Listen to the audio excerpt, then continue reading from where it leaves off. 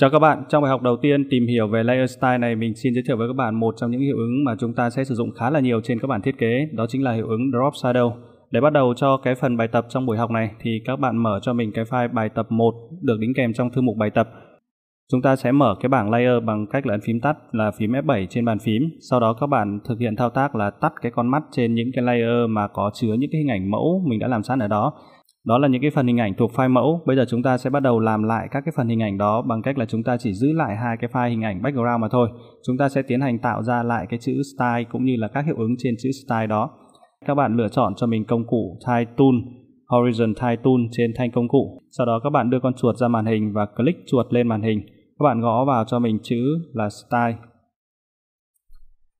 Các bạn có thể ấn phím Caps Lock trên bàn phím hoặc phím Shift trong quá trình soạn thảo văn bản để tạo ra một cái chữ viết hoa sau đó chúng ta kích đúp vào cái chữ đó để bôi đen nó và các bạn tìm cho mình một cái phông chữ, nó có tên là Myriad Pro Black.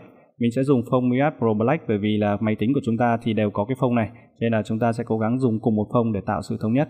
Bây giờ mình đã lựa chọn xong phông Myriad Pro Black bạn nhìn thấy là mình đã có một cái chữ được tạo ra trên phần màn hình. Lúc này công cụ đang lựa chọn là công cụ thai. Mình có thể di con chuột ra khỏi vùng văn bản đó, nó sẽ xuất hiện thành công cụ move để ta có thể dịch chuyển cái văn bản đến vị trí mà nó cân đối hơn trên bản thiết kế của mình.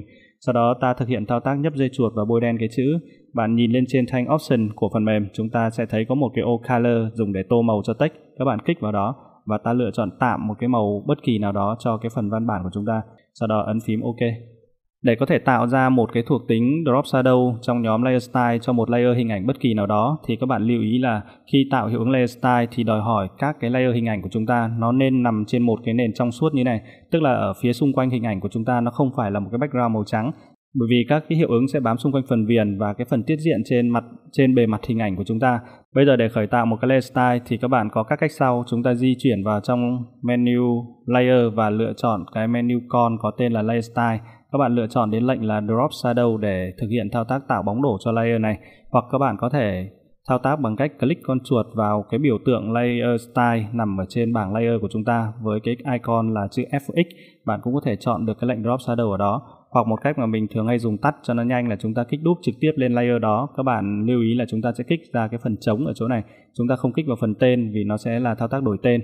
Đôi khi chúng ta có thể kích vào cái thumbnail của nó nhưng mà tuy nhiên thì đối với một hình ảnh bạn có thể kích vào thumbnail được nhưng với layer text khi bạn kích vào thumbnail thì nó sẽ trở thành công cụ select văn bản.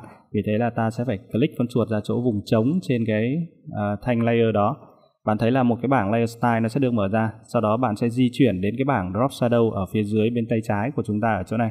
Các bạn click vào chữ drop shadow đó, thì ngay lập tức chúng ta vừa kích hoạt được cái thuộc tính drop shadow và đồng thời là cái chức năng biên tập drop shadow nó sẽ xuất hiện phía bên phải màn hình của chúng ta để chúng ta biên tập nó.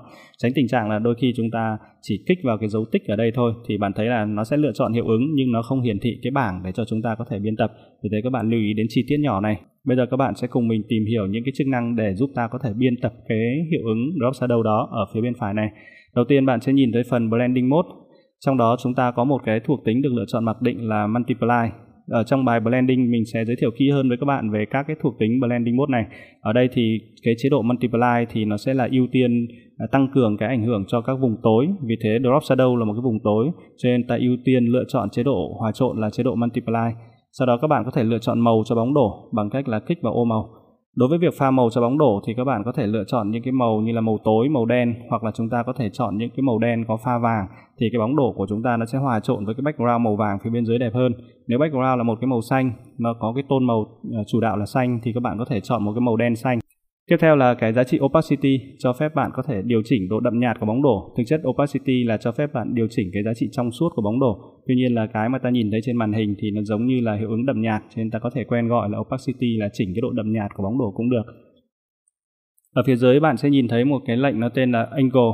Ở đây ta thấy chương trình nó ghi rất là rõ, nó gọi là set angle of light so, tức là bạn đang thiết lập cái hướng cho nguồn chiếu sáng với cái bóng đổ này. Nếu mà bạn dịch chuyển cái hướng chiếu sáng về phía bên trái, góc trên, thì bóng đổ sẽ đổ sang phía bên phải góc dưới. Cho nên khi điều chỉnh hướng chiếu sáng thì cũng giống tương tự như là việc ta đang điều chỉnh hướng của bóng đổ.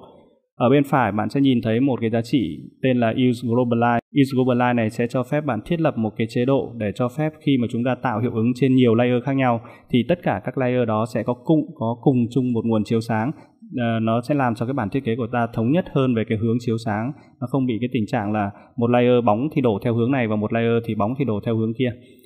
Phần distance là điều chỉnh cái khoảng cách cho cái bóng đổ đó. Bạn thấy là rất là dễ ta có thể nhìn thấy nó một cách vô cùng trực quan. Phần size ở phía dưới là cái vùng phủ của cái bóng đổ đó hay ta quen gọi nó là cái độ lớn cho cái vùng của bóng đổ hay là kích thước của bóng đổ cũng được. Khi bạn kéo size thì cái phần shadow chúng ta nó sẽ nhòe ra rất là lớn thì khi mà chúng ta kéo size lớn lên thì cái giá trị spread ở phía bên trên nó mới có tác dụng. Nếu như mà bạn đưa size về bằng không thì giá trị spread bên trên nó không có cái tác dụng gì cả bởi vì spread này nó sẽ ảnh hưởng vào cái size của chúng ta. Thì spread này là nó cho phép bạn điều chỉnh cái vùng của bóng đổ nó được mở rộng ra theo cái vùng size mà được tạo ra trên cái bóng đổ đó. Bạn thấy khi mà mình kéo lớn size đồng thời mình kéo lớn spread thì cái độ lớn của bóng đổ nó sẽ được trải dần rộng ra cái độ mờ của nó sẽ được uh, mở cái độ mờ sẽ được thu hẹp lại mà cái độ đậm, độ đen trên cái phần bóng đổ nó sẽ được mở lớn ra. Spread là cái thuật ngữ cho phép bạn có thể mở rộng cái vùng bóng đổ của chúng ta. Cộng với size thì nó sẽ tạo ra cái ứng bóng đổ rất là lớn. Phần quality ở phía bên dưới, bạn nhìn vào cái giá trị contour ở chỗ này. Bây giờ mình sẽ kích vào cái biểu đồ contour để các bạn có thể nhìn thấy. Contour editor là cho phép bạn có thể biên tập được cái giải À, màu sắc hay là cái giải màu của cái vùng bóng đổ drop shadow kia? Cái vùng bóng đổ này, nếu các bạn nhìn kỹ thì các bạn sẽ thấy nó xuất phát từ một vùng đậm và sau đó nó lan tỏa dần cho tới một cái vùng nhạt và mất dần mất dần. Chính vì thế trong cái biểu đồ này, cái giá trị ở đây nó tương đương với cái việc mà bạn có thể điều chỉnh cái vùng mà mất dần ở phía bên ngoài của vùng bóng đổ. Cái điểm ở đây thì tương đương với việc bạn có thể điều chỉnh cái vùng độ đậm ở phía bên trong. Và cái biểu đồ này thì cho phép bạn có thể điều chỉnh lại cái giải sắc độ hay là cái giải màu mà của cái vùng bóng đổ đó, bạn có thể tăng cường cái độ đậm của nó lên, hoặc là giảm bớt cái độ đậm của nó đi. Bạn có thể giảm cái vùng ảnh hưởng trên cái phần nhòe ở phía bên ngoài bằng cách kéo cái biểu đồ nó sát vào phía bên trong này. Và tương tự như thế, ta muốn nó nhòe hơn thì ta kéo nó lên trên này. Thế là cùng với cái biểu đồ này, ta có thể tạo ra rất nhiều các cái hiệu ứng và kỹ xảo cho phần bóng đổ của chúng ta, bằng cách là chúng ta thay đổi cái giá trị của cái đường cong đó. Bạn thấy là ta sẽ tạo ra được một cái drop shadow với rất nhiều các hiệu ứng khác nhau trên cái vùng hình ảnh của chúng ta. Bây giờ khi mình kéo nó thành này bạn thấy là drop shadow ban đầu chỉ là một cái giải gradient chuyển từ đen sang đến mất dần sang đến transparency thì bây giờ nó sẽ chuyển từ đen sang transparency rồi lại sang đen, rồi lại sang transparency tương đương với cái biểu đồ mà chúng ta đang nhìn thấy ở chỗ này. Sau khi ấn ok thì mình sẽ dịch chuyển cái distance lại một chút. Bạn thấy là cái bóng đổ nó rất là lạ và đẹp mắt, bởi vì là ta đã biên tập được cái giải contour editor ở trong kia với cái phần biểu đồ đường cong mà chúng ta đã can thiệp vào đó thì với những cái giá trị công tua này thì chương trình cũng đã tạo sẵn cho bạn một số các tình huống cơ bản nhất. Bạn có thể kích vào tam giác ở đây và bạn thấy chương trình đã tạo sẵn cho bạn một số các biểu đồ liên quan đến drop shadow để tạo kỹ xảo và hiệu ứng cho một cái layer hình ảnh nào đó từ cái hiệu ứng drop shadow mà chúng ta có. Bạn có thể tham khảo thêm bằng cách click con chuột vào những cái ô này. Ta có thể nhìn thấy được các cái hiệu ứng mà chương trình đã tạo ra đối với cái phần hiệu ứng drop shadow nó trông như thế nào. Ở phần phía dưới thì bạn có thêm một cái chức năng là noi. Ta có thể thêm vào những cái hiệu ứng là tạo nhiễu cho vùng bóng đổ đó. Thì cái phần kỹ xảo noi này thì cũng rất ít khi sử dụng. Tuy nhiên là bạn thấy là nó cũng cho bạn cái hiệu ứng rất là đẹp mắt đối riêng với cái phần drop shadow mà chúng ta có trong phần layer style này. Đối với bạn nào mà có dùng phiên bản Photoshop CC 2015 trở lên thì bạn nhìn thấy là trong cái bảng Layer Style của chúng ta ở một số các cái hiệu ứng Layer Style như là Stroke, Inner Shadow, Drop Shadow bạn thấy có một dấu cộng xuất hiện phía bên phải. Đây là một cái đổi mới cực kỳ tuyệt vời trên phiên bản Photoshop CC. Đó là bạn có thể tạo ra hai hiệu ứng Drop Shadow hay là nhiều hơn các hiệu ứng Drop Shadow bằng cách ta kích vào cái dấu cộng này bạn thấy là ta có thể tạo thêm rất nhiều các cái hiệu ứng drop shadow ở trên đó và ta có thể kết hợp giữa các cái biên tập hiệu ứng drop shadow này để tạo ra nhiều cái hiệu ứng hình ảnh đẹp mắt hơn. Thì đây là một thuộc tính rất là tuyệt vời trong quá trình làm việc với các kỹ xảo liên quan đến chữ.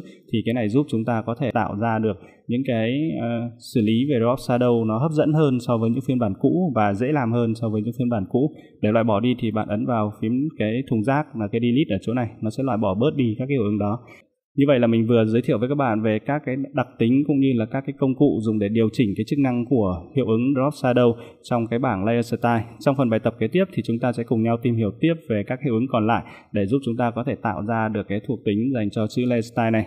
Cảm ơn các bạn đã chú ý theo dõi và chúng ta sẽ tiếp tục trong bài học kế tiếp để tìm hiểu về các hiệu ứng tiếp theo.